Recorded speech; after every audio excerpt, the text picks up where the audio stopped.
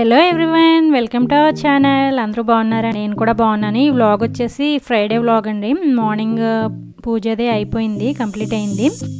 ఇక్కడ మాకు మందార చెట్టు ఉంది కదా. బంగారు తల్లి నాకు పువ్వులకైతే ఇబ్బంది ఉండదండి. బాగా పూస్తాయి. ఇప్పుడు సమ్మర్లో అయితే ఇంకా బాగా పూస్తాయి. ఇంకా ప్రసాదం అరటిపళ్ళు అతను రాలేదు. అందుకని నేను క్యాజు పెట్టాను. దేవుడికి మనం భక్తితో ఏదైనా పెట్టచ్చండి మనకి ఉన్న దాంట్లోనే. ఓకేనా? పూజ అయితే కంప్లీట్ అయింది. ఇక్కడ మీకు చూపిస్తున్నాను. నేను ఒక ఎక్స్పెరిమెంట్ చేశాను.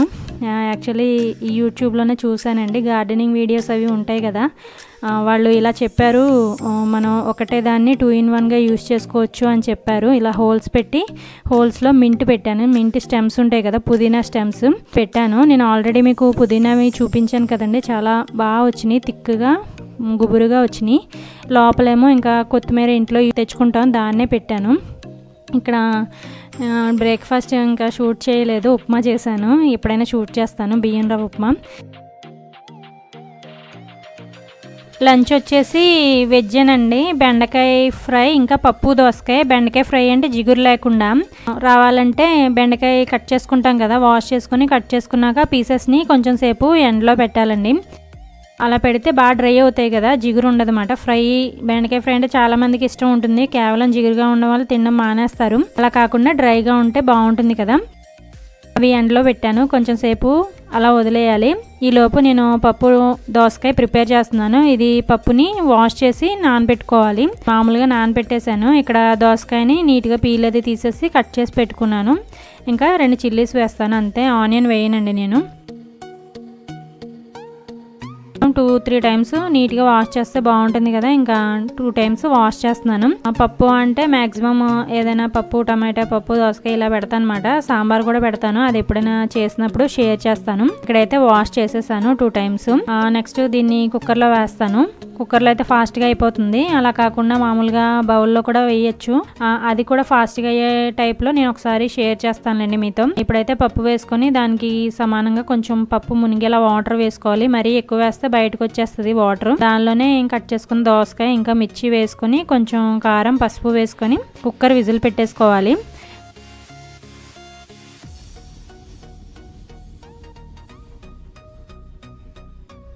బెండకాయ ఫ్రైకి ప్రిపేర్ చేసుకోవాలి. ఓకేనా? చేసుకుంటున్నాను. చేసుకోవాలి అంటున్నాను చూడండి.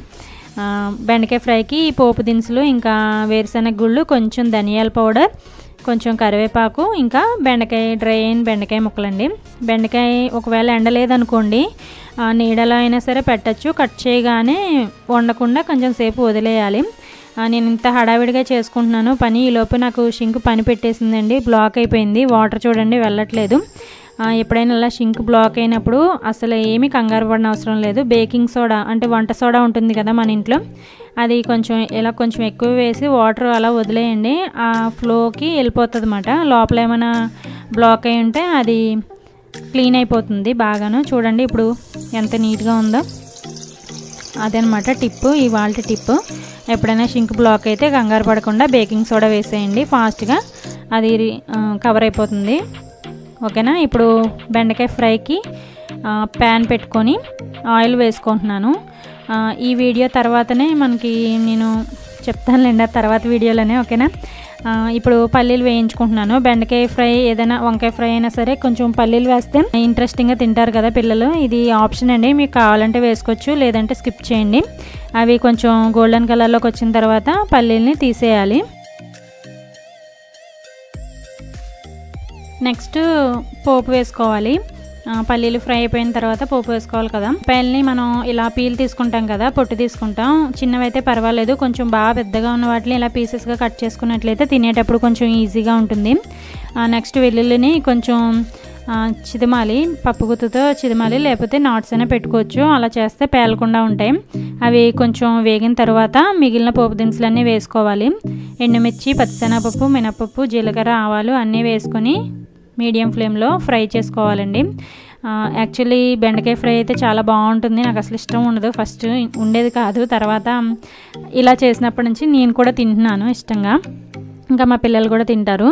తర్వాత కరివేపాకు కూడా వేసుకున్నాను. అది కూడా ఫ్రై అయిన తర్వాత డ్రై అయిన బెండకాయ ముక్కల్ని అందులో వేసుకోవాలి.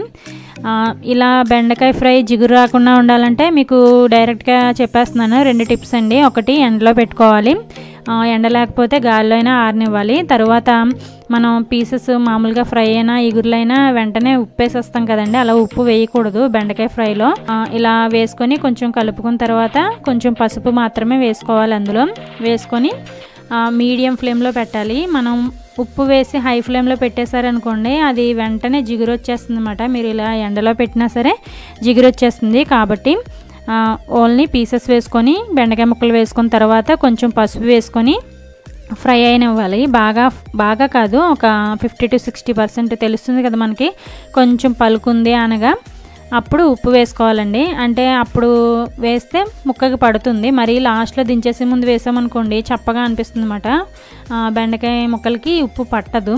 అందుకని కొంచెం కుక్ అవ్వాలి చూడండి డ్రైగా కనిపిస్తుంది. మీకు చూపిస్తున్నాను నేను దగ్గరగా. బాగుంటుందండి. ఇలా డ్రైగా రావడానికి వీటిలో ఏవేవో కలుపుతూ ఉంటారు శనగపిండి కార్న్ఫ్లోర్ ఏవేవో కలుపుతూ ఉంటారు ఏమీ అవసరం లేదండి. కొంచెం డ్రై చేసుకొని ఎండలో ఎండబెట్టుకొని తర్వాత ఉప్పు వేయకుండా ఫ్రై చేసుకోవాలి. తర్వాత లాస్ట్లో ఇదిగో చూడండి కొంచెం తెలుస్తుంది దగ్గరైంది కదా ఇందాక మీద? కొంచెం దగ్గరైంది కదా? ఇప్పుడు దీనిలో ఉప్పుని యాడ్ చేసుకోవాలి.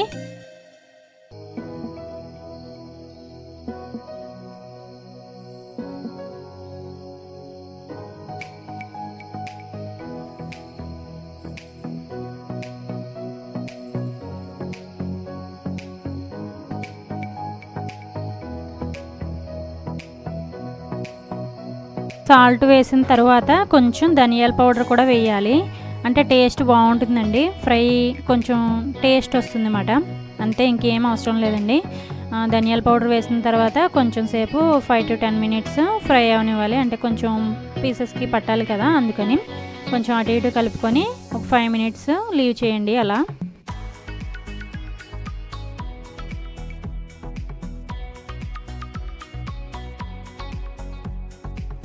ఓకే అండి ఆల్మోస్ట్ అయిపోయింది. ఇంకా ఫైనల్గా కొత్తిమీర వేసి గార్నిష్ చేసుకుంటే బెండకాయ ఫ్రై రెడీ అయిపోయింది. అరేరే మీరు వేరుశనగలు వేయడం మర్చిపోయారా అనుకుంటున్నారా? లేదండి మర్చిపోలేదు. అది కూడా ఒక టిప్. మీకు వేరుశనగ గుళ్ళు కూడా మనం ఫ్రైలో వేస్తాం కదా అవి కొంచెం సేపు అయిన తర్వాత క్రిస్పీగా ఉండవు కొంచెం కచ్చపచ్చగా అనిపిస్తాయి. అలా ఉండకుండా క్రిస్పీగా ఉండాలి వేరుశనగ గుళ్ళు అంటే. ఫ్రైలో ఎప్పుడు వేడిగా వేయకూడదండి. ఎందుకంటే అది డ్రైగానే ఉంటాయి కదా. ఇగురు అది కాదు కదా. ఇదిగోండి స్టవ్ ఆఫ్ చేసేస్తున్నాను. స్టవ్ ఆఫ్ చేసిన తర్వాత ఇది చల్లారాలి. ఫ్రై బాగా చల్లారిన తర్వాత అప్పుడు వేరుశనగ గుళ్ళు ఇందులో వేసుకోవాలి.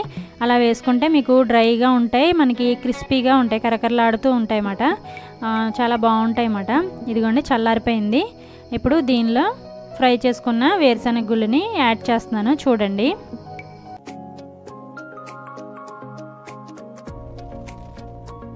ఇంతేనండి. బెండకాయ వేరుశనగ గుళ్ళు ఫ్రై జిగురు లేకుండా ఇలా చేస్తే అసలు బెండకాయ ఇష్టపడని వాళ్ళు కూడా ఇష్టంగా తింటారు. పిల్లలకి కూడా చాలా మంచిది బెండకాయ పెట్టాలి అంటారు కదా. ఇలా చేసి పెట్టండి. మీ పిల్లలు కూడా ఇష్టంగా తింటారు ఓకేనా? నెక్స్ట్ ఇక్కడ ఫ్రై అయ్యేలోపు నేను పప్పు కూడా విజిల్స్ వేయించేసానండి పప్పు దోసకాయ. చూస్తున్నాను. ఒక ఫోర్ విజిల్స్ అయితే సరిపోతుంది కుక్ అవుతుంది. ఎందుకంటే పప్పుని మనం ముందే నానబెట్టుకున్నాం కాబట్టి కుక్ అయిపోతుంది. ఈ పప్పు దోసకాయ ఇంకా పప్పు టమాటో ఇవన్నీ చాలా డిఫరెంట్గా చేస్తూ ఉంటారు. నేను ఇది పులుపు వేయకుండా చేస్తున్నాను అనమాట ఇందులో చాలామంది పులుపు కూడా వేసుకుంటారు. నేను వేయట్లేదు. ఇప్పుడు ఈ కుక్ అయింది కదా పప్పు దోసకాయలో కొంచెం రాక్ సాల్ట్ వేసి కొంచెం స్మాష్ చేసుకోవాలి. నేను స్మాషర్లు అవి ఏమీ యూజ్ చేయనండి. ఇది పప్పు గుత్తి మా అమ్మమ్మ గారు ఇచ్చింది నాకు. నేను అదే వాడతాను. అదే మంచిది. ఇంట్లో పప్పు గుత్తి మజ్జిగ కవ్వ ఉండాలి అంటారు కదా. అలా అనమాట ఇప్పుడు ఈ పప్పుని బాగా మెదుపుకోవాలి. ఆల్మోస్ట్ కుక్ అయిపోయింది కదండి. ఫోర్ వీల్స్ వేయించాం. సరిపోతుంది. బాగా పేస్ట్లా మెదిపేయకూడదు. కొంచెం అక్కడక్కడ ముక్క దోసకాయ అది తగిలేలా మెదుపుకుంటే బాగుంటుంది. ఇంకా పోపు విషయానికి వస్తే ఎండుమిర్చి వెల్లుల్లి జీలకర్ర ఆవాలు మినపప్పు కరివేపాకు అంతేనండి. మీకు ఇంకో టిప్ చెప్తున్నాను. ఇవి మజ్జిగలో మిరగాయలు చల్లమిర్చి అని అంటారు కదా. మనం ఆ ఎండుమిర్చి ప్లేస్లో ఈ చల్లమిర్చిని కూడా పోపు వేసుకోవచ్చు. అంటే డైరెక్ట్గా ఇంకా తీసి పడేయకుండా తినేయచ్చు అనమాట కానీ నేను ఎండుమిర్చి వేసాను పోపు. ఇప్పుడు ఫస్ట్ నేను చల్లమిర్చిని ఫ్రై చేసుకుంటున్నాను. అంటే కొంచెం ఇష్టంగా తింటారు మా వాళ్ళు. నేను తర్వాత కూడా మీకు చూపిస్తాను మజ్జిగలో మిరపకాయలు ఎలా వేయాలి. అవి చాలామందికి తెల్లగా రావు నల్లగా వచ్చేస్తూ ఉంటాయి. అవి ఎండేలోపు అలా కాకుండా తెల్లగా రావాలి టేస్టీగా ఉండాలంటే ఏం చేయాలని టిప్స్తో చెప్తాను ఓకేనా? ఇక్కడ ఇవి ఫ్రై అయిపోయినాయండి. వీటినే పోపు కూడా వేసుకోవచ్చు అన్నాను కదా. ఇవి బయట కూడా సేల్ చేస్తారు కానీ అంత టేస్టీగా ఉండవు. అంటే ఇవి కూడా కొన్ని ఏరియాల్లో ఏరియాని బట్టి చిన్న చిన్న మిర్చీలు వేసుకుంటారు. మనం మాత్రం పెద్ద పెద్దవి దొరుకుతాయి కాబట్టి పెద్దవి వేసుకుంటాం. ఏం ప్రాబ్లం లేదండి. ఇప్పుడు సమ్మర్ వచ్చేసింది కాబట్టి మనం సంవత్సరానికి సరిపడా స్టోర్ చేసుకోవడానికి ఇదే కరెక్ట్ టైం కాబట్టి నేను ప్రిపేర్ చేసినప్పుడు మీ అందరితో డెఫినెట్గా షేర్ చేస్తాను. నేను ఆల్రెడీ మామూలుగా వన్ కిలో వేసానండి ఈ మజ్జిగలో మిరపకాయలు. అయిపోయి వచ్చినాయి తినేశారు. ఇంకా తిప్పమని చెప్పాను. అవి నేను ప్రిపేర్ చేసినప్పుడు మీ అందరితో షేర్ చేస్తాను ఓకేనా? ఇక్కడైతే ఇప్పుడు ఇవి ఫ్రై అయిపోయినాయి. నేను జస్ట్ ఒక సిక్స్ ఎన్నో ఫ్రై చేశాను. వేడి వేడి అన్నంలో మామూలుగా మనం కర్రీస్లో మంచిగా కాకుండా రైస్లోనే కొంచెం ఫస్ట్ ముద్దలో ఈ ఎండుమిర్చి క్రిస్పీగా ఉంటుంది కదా? మజ్జిగలో మిర్చి దాన్ని కలుపుకొని తింటే చాలా బాగుంటుందండి. ఒకసారి ట్రై చేయండి వీలైతే ఓకేనా? ఇప్పుడు ఇది ఫ్రై అయిపోయినాయి కదా? నేను ఇదే ఆయిల్లో పప్పు దోసకాయకి పోపు వేసుకుంటాను అనమాట మనం వేరే బౌల్ పెట్టుకునే అవసరం లేదు మళ్ళీ. వెల్లుల్లిని కొంచెం మెదపాలి. పొట్టు తీయని అవసరం లేదులేండి. తర్వాత వెల్లుల్లి వేసిన తర్వాత ఎండుమిర్చి మిగిలిన మినపప్పు జీలకర్ర ఆవాలు వేసుకోవాలి. తర్వాత కరివేపాకు వేసి ప్లేట్ పెట్టేస్తున్నాను. లేకపోతే మీదకు పేలితే చాలామంది పప్పులో పచ్చిశనగపప్పు వేస్తారు పోపులో. నేను వెయ్యను ఓకేనా? తర్వాత కొత్తిమీర వేసుకొని ఫ్రై చేసుకొని ఈ పోపుని అందులో తిరగబోసుకోవాలి అంతేనండి. పప్పు దోసకాయ కూడా మాకు తెలియదా అనుకోకండి నేను వ్లాగ్స్ చేస్తున్నాను కాబట్టి ఏం చేస్తే అదే షేర్ చేయాలి కాబట్టి అదే షేర్ చేస్తున్నాను.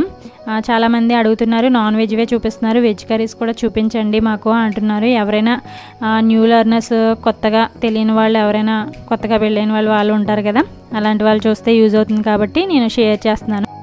ఇప్పుడు ఆ పోపుని ఇందులో తిరగబోసుకొని ఒకసారి సాల్ట్ అది చూసుకోండి సరిపోకపోతే ఇప్పుడే యాడ్ చేసుకోండి ఓకేనా తర్వాత మూత పెట్టేయాలి. అప్పుడు కొంచెం సేపు వదిలేస్తే మగ్గుతుంది బాగుంటుంది అన్నమాట పప్పు. అంతేనండి లంచ్ అయితే నేను రైస్ రైస్ని ఎప్పుడు ఇలా హాట్ బాక్స్లో వేస్తాను హాట్ హాట్గా ఉంటుంది. తర్వాత బెండకాయ ఫ్రై జిగురు లేకుండా. తర్వాత చల్లమిర్చి అదే మధ్యలో మిరపకాయలు. తర్వాత పప్పు దోసకాయ అయిపోయిందండి. ఇవాళ లంచ్ మెనూ ఇదే అనమాట ఇప్పుడు మా నితీష్ బంగారం ముచ్చట్లు చూడండి.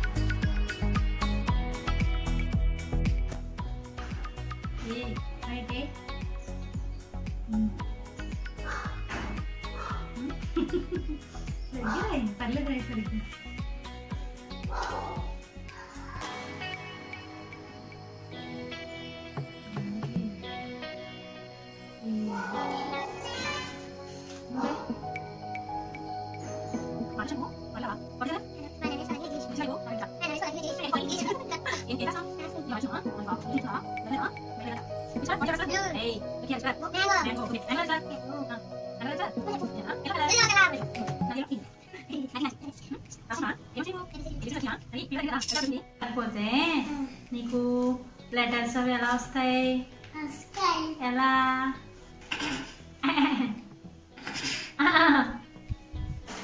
చెప్పు వస్తాయి ఓకే బాయ్ చెప్పు. బాయ్. చూస్తూ ఉండండి. మళ్ళీ మీట్ అవుదాం. బాయ్. బాయ్. ఇదేనండి చూసారు కదా నా పని ఎంత అయిన తర్వాత తన్ని రెడీ చేశాను. ఈరోజు లేట్ అయిపోయింది. ఆ, పూజ అది ఉన్నప్పుడు కొంచెం తనని రెడీ చేయడం లేట్ అవుతుంది నాకు.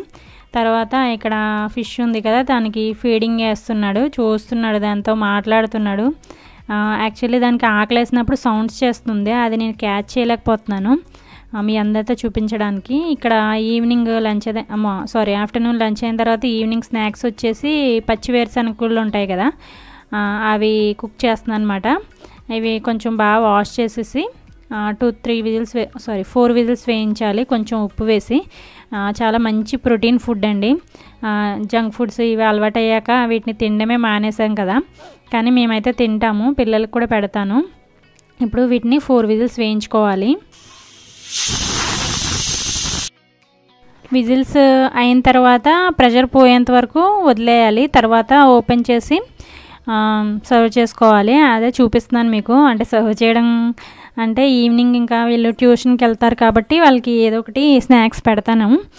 ఇక్కడ చూపిస్తున్నాను చూడండి ఎలా కుక్ అయింది అనేది చూపిస్తున్నాను. యాక్చువల్లీ ఈ వేరుశనగకాయలు ఇంకా బాగా పెద్దవి ఉంటాయండి. మూడు గింజలు నాలుగు గింజలు కూడా ఉంటాయి. ఇవి ఎక్కువ వైజాగ్ సైడ్ పండుతాయి అన్నమాట విజయనగరం సైడ్. ఇక్కడ పిల్లలకి ఇస్తున్నాను తింటున్నారు. మీరు కూడా తింటారా పచ్చి వేరుశనగకాయలు? ఆ, మీ సైడ్ దొరుకుతాయా అనేది కామెంట్ చేయండి ఓకేనా? ఇంకా పిల్లలకి అయితే నేను మ్యాక్సిమం కొంచెం చూసే పెడతానండి. అవి ఇవి ఏమి చేయను. ఒకవేళ వాళ్ళు తినేవి ఏమైనా సరే కేక్స్ ఇలాంటివైనా ఇంట్లోనే చేస్తాను. ఫర్దర్గా మీకు అన్నీ చూపిస్తానులేండి ఓకేనా? ఇంకా మీకు టిప్స్తో సహా చెప్తాను. వాళ్ళకి ఎలా పెడితే మంచిది ఎలా అయితే హెల్దీగా ఉంటారో వాళ్ళు ఇష్టంగా ఎలా తినాలి ఇష్టంగా తినేలా ఎలా చేయాలి అనేది చెప్తాను. వాయిస్ ఓవర్ ఇచ్చేటప్పుడు కూడా కరెక్ట్గా రావట్లేదు మాటలు కూడా నాకు. కొంచెం పని హడావిడి అది లైన్లో చూడండి ఎలా తింటున్నాడు. పిల్లలకి ఇంకా త్రీ ఇయర్స్ వచ్చాక వాళ్ళకి ఇచ్చేయాలండి. తినడం అయితే అప్పుడే అలవాటు అవుతుంది. వాళ్ళకి ఎలా తినాలి ఏంటి అనేది. ఇక్కడ సూపర్ అని చెప్తున్నాడు మా నితీష్ బంగారం.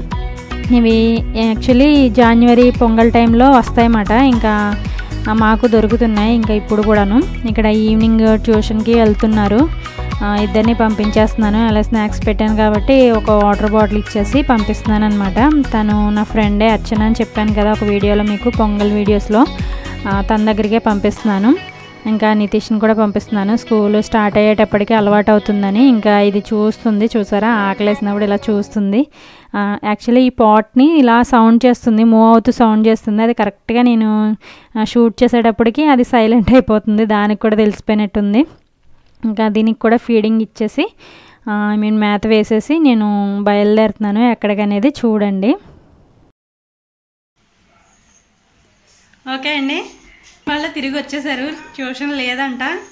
ఫైవ్ థర్టీ అవుతుంది. ఎవ్రీడే ఫైవ్ థర్టీకే వెళ్తున్నాను. హాయ్ ఫ్రెండ్స్ వచ్చేసాం మేము. భలే భలే యాక్చువల్లీ మిథును బావ మార్నింగ్ వెళ్తున్నారు. నేను మార్నింగ్ ఇంకా వాకింగ్ చేసి పని చేయాలంటే నా వల్ల కాదు. అందుకని నేను ఈవినింగ్ టైం వెళ్తున్నాను అనమాట మన తోటికోళ్ళు ఉంది. తను నేను వెళ్తున్నాం. ఎవ్రీడే ఎగ్జాక్ట్గా ఫైవ్ టు ఫైవ్ థర్టీలో వెళ్తున్నాం అనమాట ఓకేనా? కమ్ విత్ మీ మీరు కూడా మా కుళా చెరువుని చూద్దరు కానీ చల్లగా ఉంటుంది బాగుంటుంది. ఓకేనా?